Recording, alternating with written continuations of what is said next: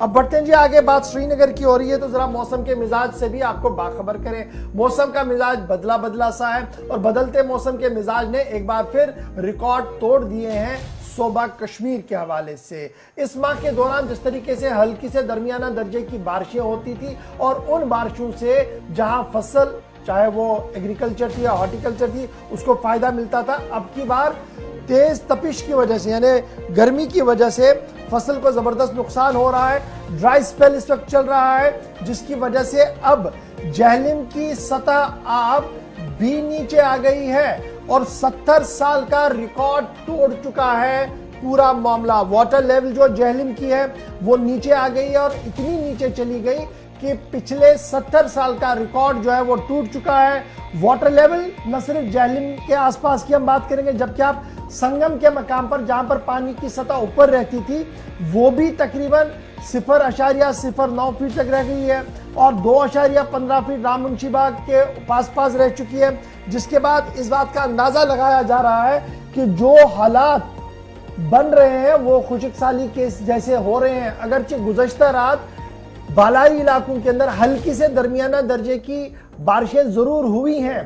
लेकिन मैदानी इलाकों के अंदर इसका कोई भी असर नहीं है, जिसकी वजह से फ़सलों को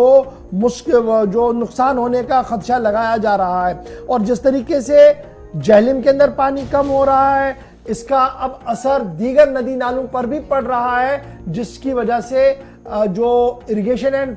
इरिगेशन डिपार्टमेंट है, जिनके जिम्मे पानी खेतों तक पहुँचाने का काम है। वो इससे कासिर है क्योंकि पानी जब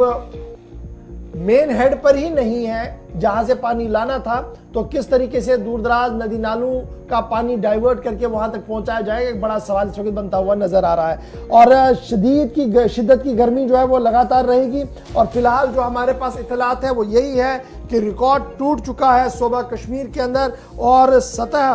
जो पानी की सतह है जहलिम के अंदर, वो लगातार कम हो रही है और इससे अब कहीं ना कहीं खदशा बन रहा है कि फ़सल को बड़े पैमाने पर नुकसान हो सकता है। जम्मू कश्मीर से बड़ी खबर जहाँ पर पानी की सतह दरिया जहली में कम हुई है, उसके साथ साथ ही सत्तर साल रिकॉर्ड जहली में पानी की सतह सत्तर साल यानी कि वो रिकॉर्ड टूट गया है। कम जो इसकी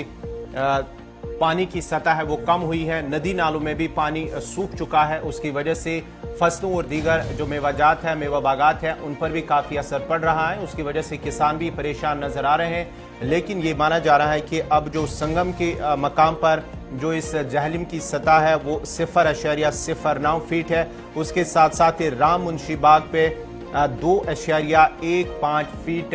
रिकॉर्ड की गई है। इरिगेशन एंड फ्लड कंट्रोल की जानब से और माना जाता है कि जो जू जुलाई अगस्त सितंबर है बारिशें भी कम हुई हैं उसके साथ साथ भी श्रीनगर चलेंगे जी हमारे साथ सईद इरफान फाजिल इस वक्त है। फाजिल बहुत शुक्रिया ज्वाइन करने के लिए। जो सूरत उभर कर सामने आ रही है कि पानी की सतह जो है दरियाए जहलीम के अंदर वो कम हो रही है और बुनियादी वजह माना जा रहा है कि जनाब बारिशें नहीं हो पाई हैं और जो गर्मी है वो लगातार बढ़ रही है। किस तरीके का मौसम का मिजाज है? महकमे मौसमियात की क्या कोई पेशन गोई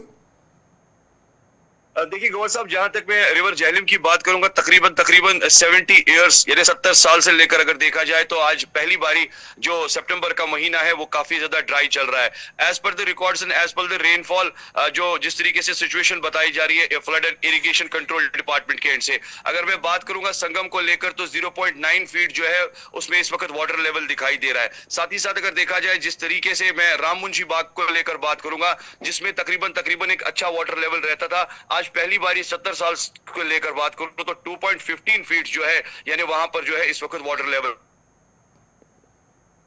रिकॉर्डेड जो है पहली बारी और आज ऑफिशियल रिकॉर्ड बताया जा रहा है 1.6 यानी उनका मानना है कि तकरीबन तकरीबन सितंबर के माह में इस तरीके का ज़ीरो फीट होना ये एक डिफरेंट सा रिकॉर्ड क्रिएट करता है। क्योंकि मौसम जिस तरीके से ड्राई चल रहा है और वाटर बॉडीज जिस तरीके से कम हो रही है तो कह सकते हैं कि यहाँ पर एक ड्राइनेस जो है वो काफ़ी ज़्यादा वादी कश्मीर में बढ़ गई है। क्योंकि पहली बारी इस तरीके की जो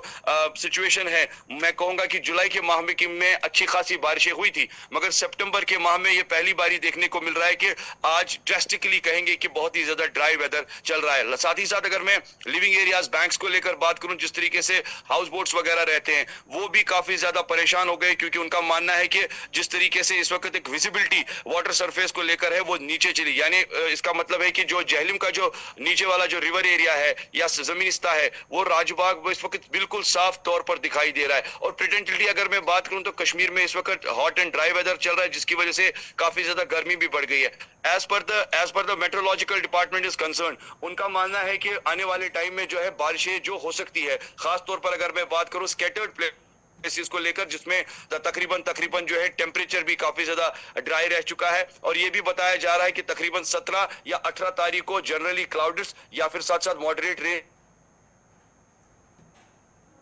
मौसम तो ड्राई रहेगा, मगर आने वाले तीन दिनों तक जो है मौसम और भी ज़्यादा जी हाँ गर्म रह सकता है, जिसकी वजह से हम कह सकते हैं कि नॉर्मल टेम्परेचर भी कम हो चुका है। बहुत शुक्रिया हमारे साथ ज्वाइन करने के लिए। फ़िलहाल इमीडिएटली आइंदा 24 घंटों के लिए किसी तरीके की कोई राहत नहीं होगी। लगातार मौसम का मिजाज जो है वो इसी तरीके का बना रहेगा और बारिशों का कहीं पर भी कोई इम्कान फ़िलहाल नज़र नहीं आ रहा है। उम्मीद करें कि ज़्यादा सूरत हाल अब तक